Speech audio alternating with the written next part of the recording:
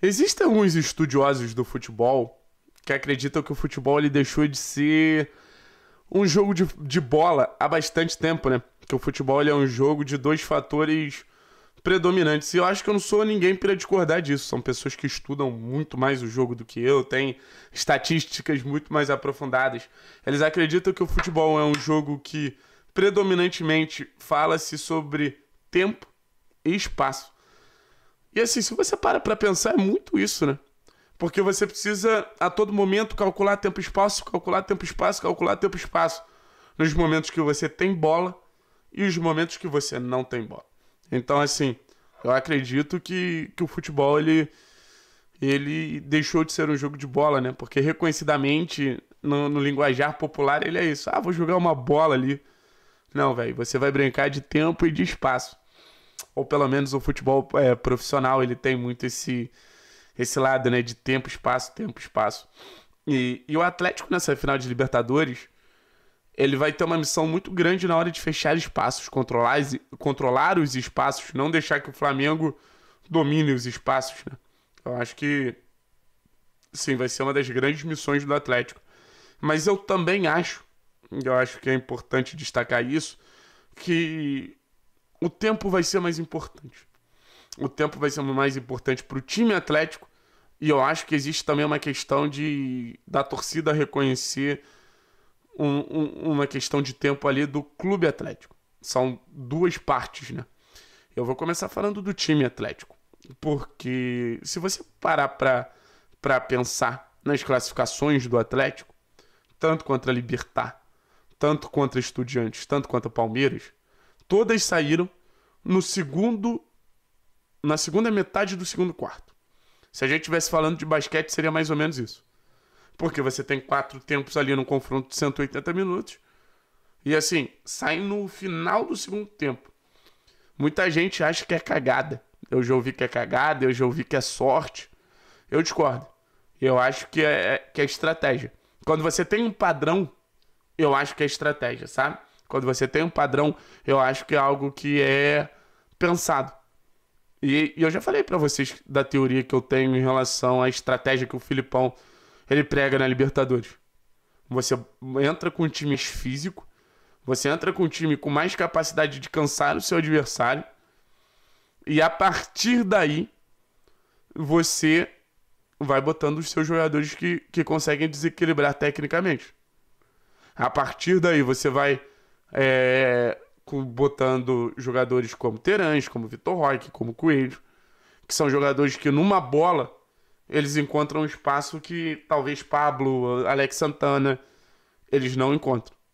E assim, a gente fala dessa sequência da, da Libertadores do Atlético, que é realmente talvez o grande demonstrativo de como o Atlético ele consegue controlar bem os primeiros minutos e depois ele consegue aproveitar, ele bota uma armadilha ali para o adversário cair. Mas a gente pode falar, por exemplo, do confronto Atlético-Flamengo na Libertadores. Na, na Copa do Brasil. O confronto Atlético-Flamengo na Copa do Brasil foi exatamente isso. O Atlético segurou, segurou, segurou. Mas não conseguiu chegar nessa segunda metade do segundo terço. Do último terço. Sabe? Se o Atlético levasse ali aos 60, 65 minutos, talvez a classificação ela tivesse na mão do Atlético. Mas aí você pode argumentar o seguinte: ah, mas não é uma estratégia muito arriscada você querer levar o jogo para o limite? É, é muito arriscado. É muito arriscada, é muito volátil. Em qualquer momento pode, assim, ir tudo por água abaixo. Se o Atlético tomar um gol no início, ferrou. Mas é uma estratégia que vem dando certo. É uma estratégia que coloca o Atlético na final. E eu acho que de alguma forma é uma estratégia que dá um caminho para o Atlético na final.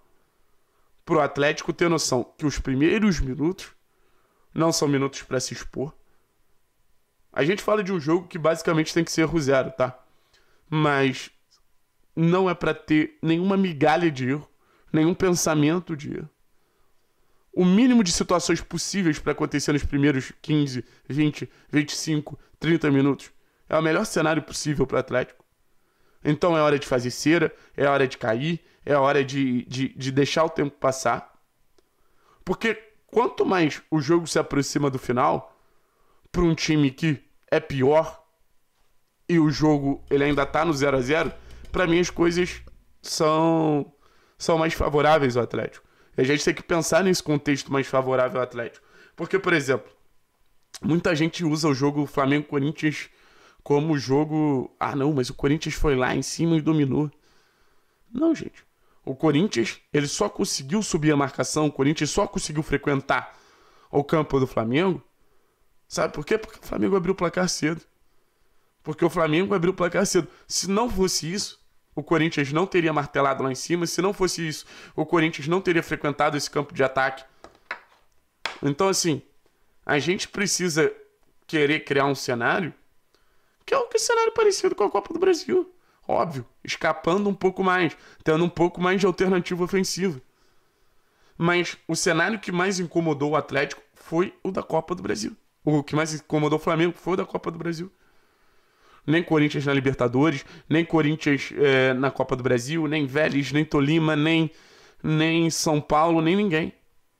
Esse discurso que os times que vão para cima do Flamengo e conseguem uma, duas, três finalizações jogam melhor é um discurso burro. É um discurso burro porque cai na armadilha do Flamengo. Não perceber essa armadilha do Flamengo de atrair o adversário para atacar as costas dele é o que faz o Flamengo ir passando de fase, de fase, de fase. Porque parece que atende um ego ali, que é um, um, ego muito pequeno, e, e, e, você acaba sendo preso através desse ego. Ah, não, tô indo pra cima do Flamengo, olha como eu sou bom. Olha como eu sou um time competitivo, eu tô indo pra cima do Flamengo. Sendo que é o que o Flamengo quer que você faça. Sendo que é o que o Flamengo quer que você pratique. Então eu espero que o Atlético não dê ao Flamengo o contexto óbvio. O contexto óbvio do jogo. Se o Atlético sair, o Flamengo goleia. Se o Atlético ficar numa de sou ofensivão, o Flamengo goleia. É o jogo das nossas vidas, mas é o jogo da vida dos caras também, velho. Pedro quer ser campeão pra caralho, Davi Luiz quer ser campeão pra caralho. Foram caras que não foram campeões. Então a gente precisa ser inteligente.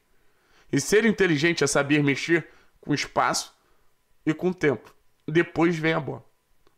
Depois vem a bola. E a gente não está sendo ultrapassado. A gente está seguindo uma tendência muito clara no futebol. Se a gente fecha o espaço, controla bem o espaço, diminui os espaços em jogadores específicos. Assim, o Everton Ribeiro ele não pode ter espaço. Ah, Thiago, mas o Everton Ribeiro cria espaço. Concordo. Mas ele não pode criar. Mas ele não pode ser esse jogador que, que flutua, que, que desfila em campo. O Everton Ribeiro deu um passe. Você não entendeu mais ou menos o que aconteceu? Falta. Falta. Não tô falando falta para machucar. Tô falando falta para parar o jogo. Falta é um artifício para parar o jogo. No basquete, tô começando a acompanhar a NBA, a todo momento se usa falta. Porque no futebol é algo que, que não deve ser feito? Não, tem que ser feito. Pô. Se isso for a favor do Atlético, tem que ser feito. Porque, assim, a nossa maior chance de título, eu repito, a nossa maior chance de título é ver o Atlético campeão a partir dos 60 minutos. Se o Atlético ele chega aos 15 minutos do segundo tempo vivo, se o Atlético chega aos 15 minutos do segundo tempo no 0 a 0 cara, eu acho que vai ser difícil tirar esse título da gente. Óbvio, tudo pode acontecer, mas a minha fé diz que, que vai ser difícil. Assim como foi difícil tirar a classificação contra a Libertar, contra o Palmeiras e contra o Estudiantes. E e assim, eu não, eu não tô me apegando ao Flamengo nesse momento, né? Eu não tô me apegando ao Flamengo. Se eu me apegar ao Flamengo, eu vou entender como os caras têm muito mais qualidade que a gente. E não é o pensamento que eu quero ter. Isso aí o Filipão, o Wesley, o, o Turra, todo mundo já estudou. Mas eu tô, eu tô apegando ao Atlético. Não é que o Flamengo vai perder esse título. É que o Atlético vai ganhar esse título. Esse discurso é o discurso do Vitor Birner, isso é o discurso do Bruno Formiga é, profissionais que não estavam acompanhando o Atlético nos seus melhores momentos. Eu não vou me basear no Atlético do Campeonato Brasileiro. Eu vou me basear no Atlético da Libertadores. Eu posso falar um segredo para vocês: o Atlético da Libertadores é forte pra caralho. O Atlético da Libertadores está pronto para ser campeão. O Atlético da Libertadores furou uma fila, mas furou uma fila porque tem projeto, porque é um clube e um time sólido. Às vezes a gente se confunde que o, que o clube já deveria ter alcançado um posto muito grande, mas o Atlético, como clube, também desafia essa questão do tempo, né? É um time que, como o Petralha fala, era um time de bairro e foi crescendo, crescendo, crescendo. E já conquistou muita coisa no intervalo muito curto de tempo. Eu tenho certeza que algumas SAFs vão demorar para conquistar tudo que o Atlético conquistou. Eu tenho certeza absoluta. Então, assim, não é o momento de se ter pressa. O Atlético ele já está na final. O que o Filipão falou, para que ansiedade? A gente já está na final. Eu lidei como o seguinte: final não é um local para ter ansiedade. Final é um local para você ser certeiro, para você ser frio e calculista. Para você querer ser campeão, você precisa ser um time maduro. E eu espero que Guayaquil só comprove o que a gente constatou. Que o Atlético foi um clube que foi amadurecendo e amadurecendo muito ao longo da temporada. Porque do outro lado, também tem um time super maduro. Mas a gente quer mais essa taça. Esse tem que ser o slogan da final. A gente quer mais essa taça.